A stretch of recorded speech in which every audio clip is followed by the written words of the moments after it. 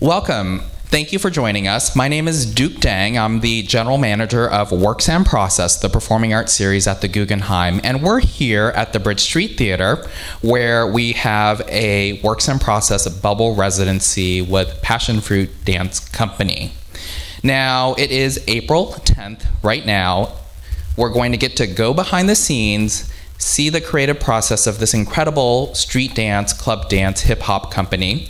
And then tomorrow, on the last day of the bubble residency, this company will premiere this brand new piece called Trapped in the rotunda of the Guggenheim. So, thank you so much for joining us. We're going to see a first piece called Cocoon.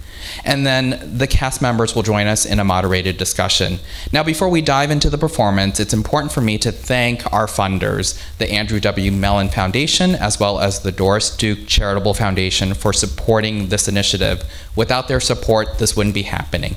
Thank you so much for joining us, and um, let's welcome Passion Fruit Dance Company with Trapped.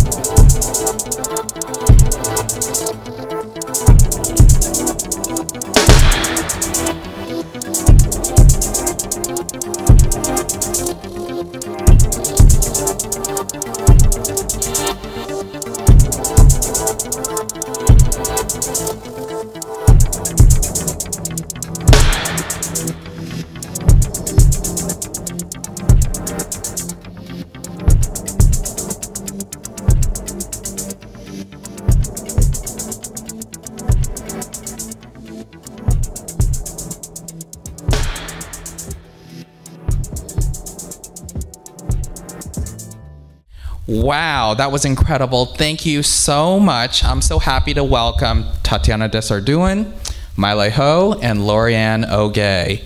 Now, we just saw a piece called Cocoon, and I couldn't help but notice that you are in costumes that are red that look like a cocoon. So, can you tell us more about Cocoon?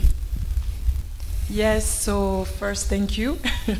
so, uh, about the cocoon, this idea of being trapped, uh, surrounded by that cocoon, is supposed to represent all the social construct, our struggle that lies on us, and we try to get away, we try to get rid of it, fight in all those troubles that we have. So, this is basically just a metaphor of uh, all the social uh, struggle that we go through as women in this society. So I wanted to play with this idea and showcase this idea of like try to remove ourselves from it, uh, finding a way out. So Lauriane and Mai Lê, when Tatiana had this idea of dancing inside a cocoon, what was your reaction?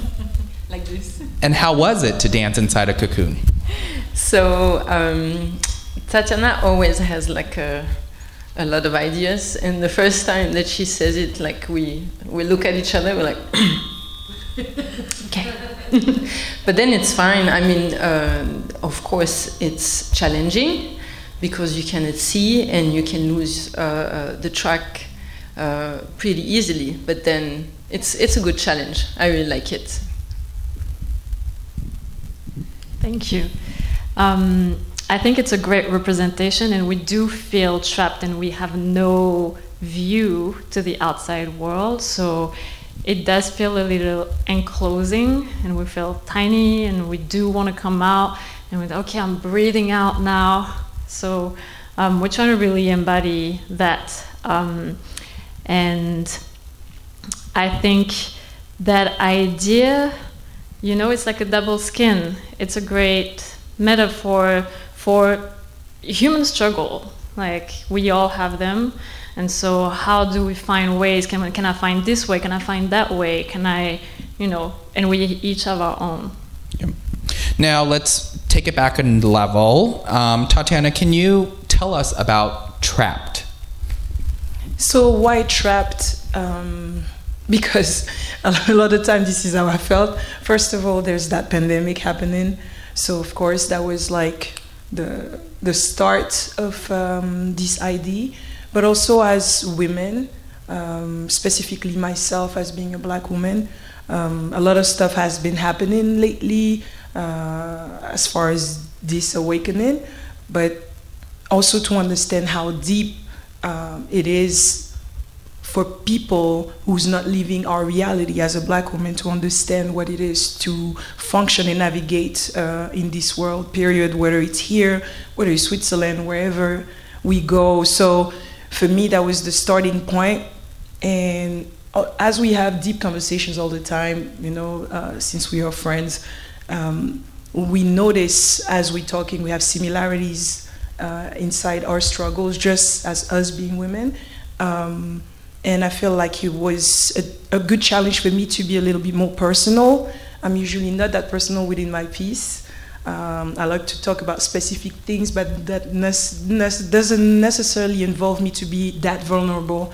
But this time, I use basically the conversations that we have between friends, uh, even with the other dancers from the cast who are also friends and cl- close friends, where we have all those conversations where okay, there's definitely connections between us, similarities, differences that we can play with as us being women, period. So for me, I felt like that was an amazing way to challenge myself and be like, okay, let's be more vulnerable this time. Let me share a little bit more about my story, my struggle as a woman, and also their struggle and how it's all intertwined. Right. So, as I mentioned before, we are in the middle of a bubble residency. And what that means is that before these artists are able to safely gather. They go through a period of self isolation at home combined with multiple rounds of rapid testing before they enter the bubble where they can safely create together again. So it's two weeks now inside the bubble. You talk about having conversations and being together. How is it to have this time, two weeks to work together, create together, to live together, to cook together, to eat together? I'll start, then I'll let you speak on that.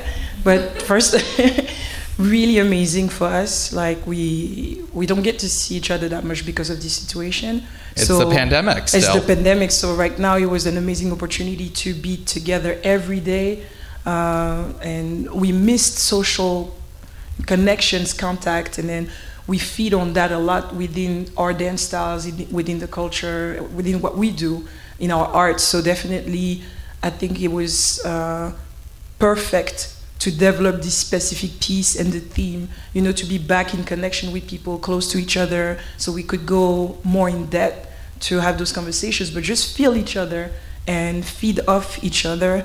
Um, so no, it's amazing, challenging because it's only two weeks to try to create a, a nice, strong 30 minutes piece. Um, and I love that challenge.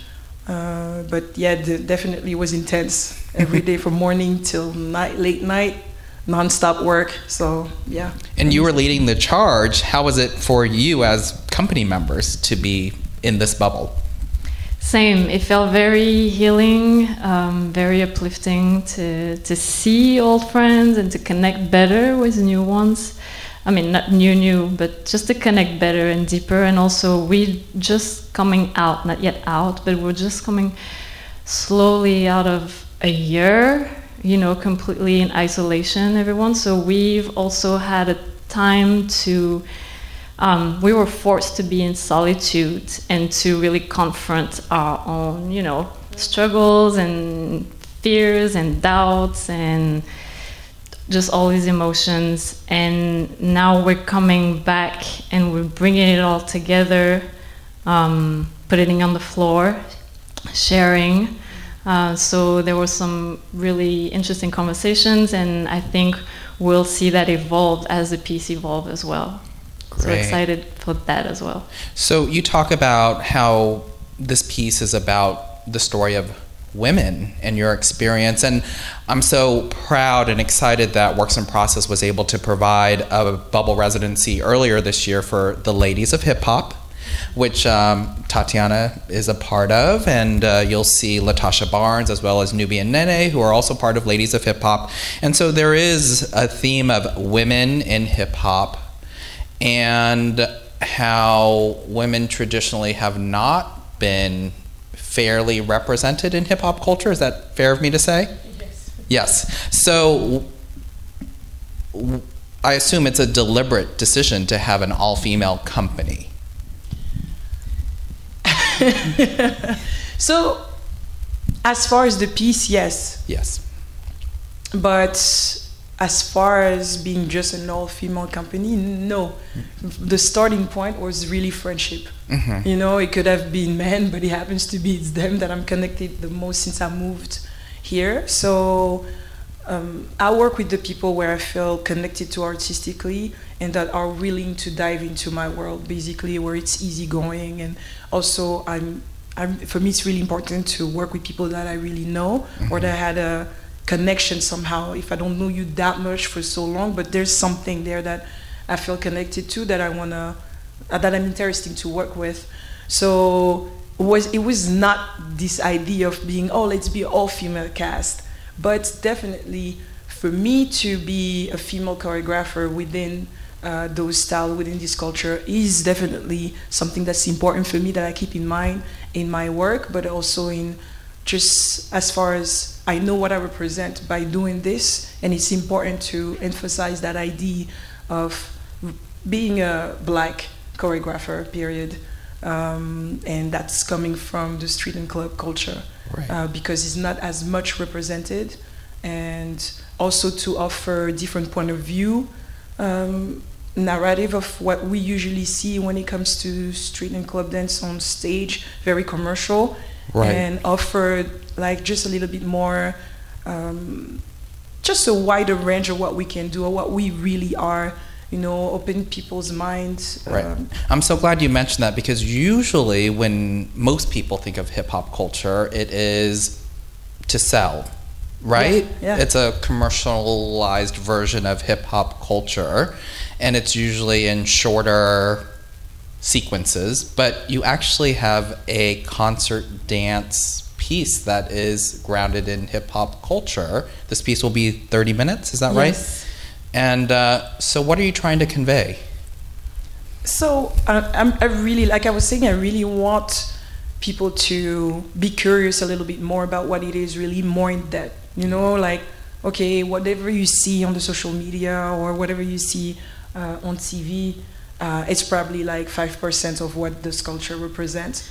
And what we try to offer here is like, okay, this is what we do uh, uh, for our life every day. This is what we live. This is what we breathe. And there's a way more to that, like flashy things that's that is used to sell. There's a whole journey that each one of us represent in a different way. You know that this idea of identity um, and speaking your truth is very, very important within our culture.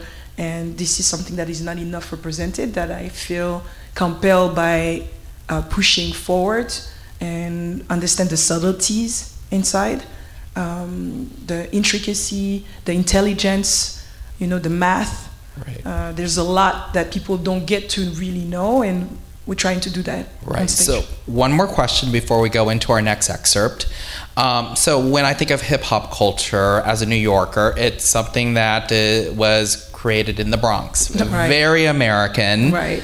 You're Haitian Swiss. Mai Lê, you're from France. Lauriane, you're from Switzerland. So, how did you come to hip hop? I mean, the vibrations of this culture is so powerful. It's So, worldwide. It's worldwide now. I mean, it started definitely in the Bronx, and it was. It's. I feel like it's so. The reason why of this culture, uh, of the emergence of this culture, is so powerful that it resonates and vibrates super far. That you can find uh, people doing those dance styles everywhere. So of course, it was gonna vibrate until Switzerland, until France.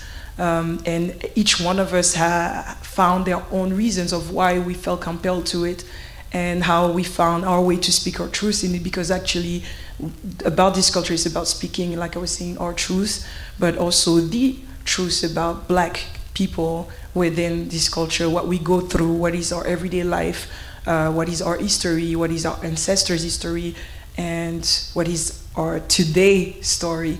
Um, so I feel like um, this is so deep, so powerful that I'm not surprised that we we all got touched for it and found in it some tools to heal ourselves uh, in, uh, at the same time. Oh, and boy, do we need healing right now. Yes, we do. so, can you tell us what we're going to see next and what we should be looking for?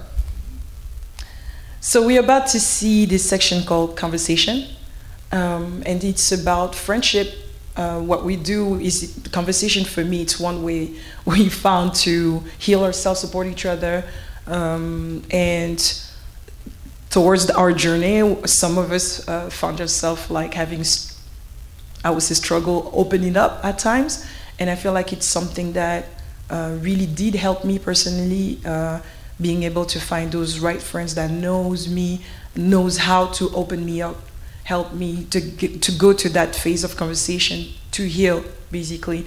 And i feel like it's a powerful tool to for healing. The, the conversation moment You unlock a lot of uh, stuff. So i really i really wanted to play with that idea during this section. Great. Thank you so much. And now we have conversation from trapped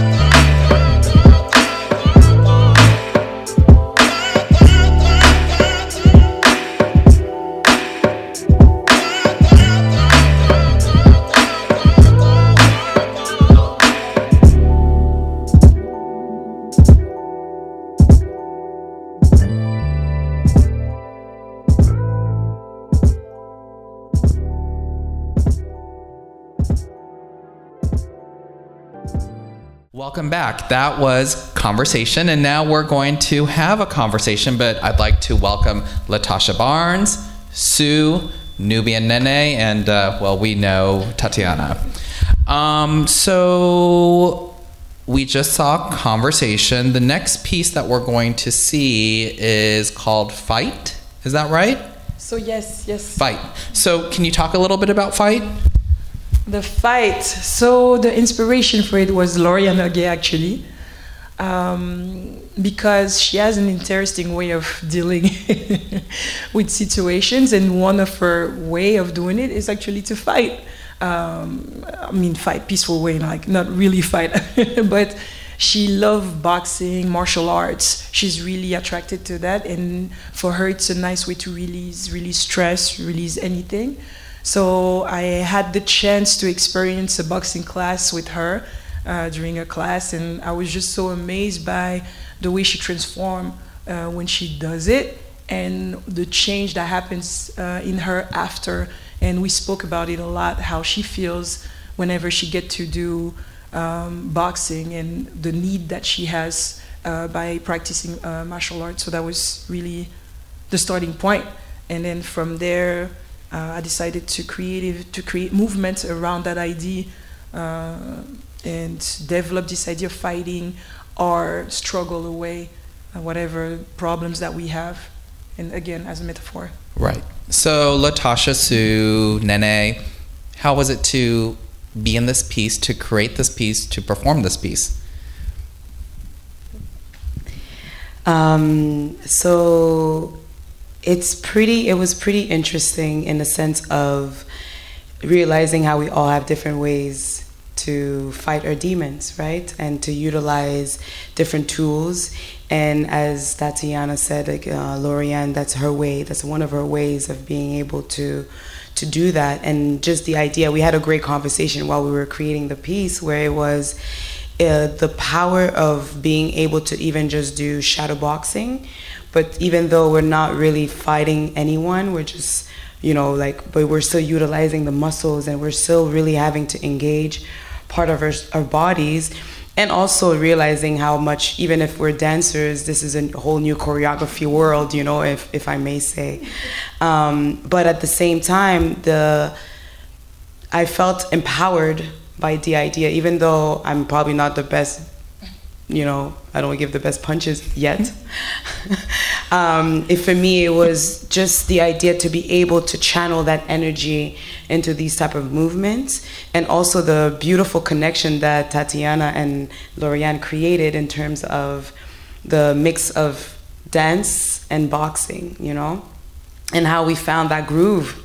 We always find that groove within the box and the boxing, and and um, and I think you know, if you've watched boxing or if you've watched fighting in any type of martial art, there's always that type of flow. There's always a rhythm, and then to be able to kind of like um, see or feel the similarities, but see the feel the differences also, but just be able to express that. That was pretty fun. Yeah. So Soo, you're from South Korea. Yes. And how did you find your way to street dance and hip hop? I was thinking about the fight. and oh, then sorry. Now you're sorry to oh. Do you need I'm a not moment? An American, so okay, I need a minute. Uh, what, what, I'm sorry. What was the? So you're from South Korea. Right. Hip hop is, you know, a very American culture, art form. It's worldwide now. But how did you find your way to hip hop and street um, dance and I don't think it was just uh, when I was a kid. I was just uh, naturally I like to dance and then listen to music, and then I very naturally like find the music, and then oh, oh this is it. In back then there was no internet, so it was it was a yeah it was a lot of time to to find the what what is this what is that. But finally, I uh, found uh, hip hop culture and the hip hop dance, and then I got to really uh, into it. So I mean, was was it what brought you to New York? uh, I, don't know. I just uh, one day I just decided to okay, I gotta go somewhere um, the dance culture. So I just decided one day, okay, I'm leaving Korea, and then I want to learn all these different dance style from uh, this center, this center. So that's that was the start. Yeah. Then I really liked New York, so I decided to work in in starting uh, all this work in New York. Yeah. So, LaTasha, I'm going to ask you a question that I've asked you before. Um, you know, it's been a rough year. We are in the middle of a pandemic. Um, what do artists need right now? Oh, I thought yours was heavy. Um, well, yeah, you have asked me this question a few Yeah. times. And we need we all need to hear this. Yeah. One of the biggest things that's coming uh, to light for me now is the need to have space to share, to create, to build um, without the transactional expectation. So, without the requirement of having to produce a show. If a show develops, then that's great. If seeds for, borrowing from passion fruit seeds, if seeds for a new adventure or new collaborations develop, then that's fantastic. But um, for presenters and educators to start to make space for artists to recognize and realize their value as humans, as artists, not necessarily just these producers of art. Um, for us to have that space to actually really value ourselves is a big vulnerability for us too, because a lot of us have gotten used to okay, we have this space, now we have to create, we have to do a thing, and we have to perform it. And to even make space for ourselves to step back from that idea, to be able to, to shift the culture uh, quite a bit. Right. So that we can make more space to honor each other in our growing process, I think is absolutely invaluable. And of course, having the money to do that doesn't hurt. Just saying. But we have people the tuning in that need to hear that. but to have the space, honestly, um, and the time and uh, the use of, of systems, um, not in the, say, industrialized or negatively systematized way, but you know, for those of us to come together who found ways of creating like amazing, you know, academic approaches to sharing our process, not for it to be cannibalized by others who kind of think they know what they're doing but to actually take time to discover how you can be assistive to the culture, not just a taker and not just commercializing it. Yeah. Right, right. Um, so tomorrow, this piece premieres. Now I feel really guilty because we've been so uh, focused on making live in-person performances happen again. but um, what are you? What is going through your mind as you get to be one of the first dance companies to perform in front of a live audience indoors in over a year. Uh, We've got people with hands up. yes, so uh, a lot of pressure, of course, but a, a lot of excitement as well. We're super excited to perform, super grateful to be able to do it.